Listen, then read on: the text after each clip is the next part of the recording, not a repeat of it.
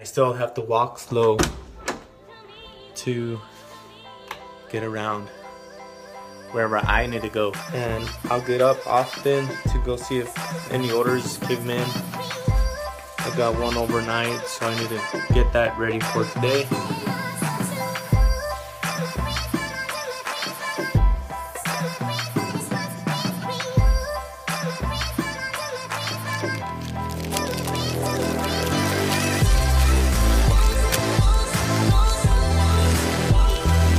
So I pretty much just try to get some rest, as much rest as I can, and try to not make much movement.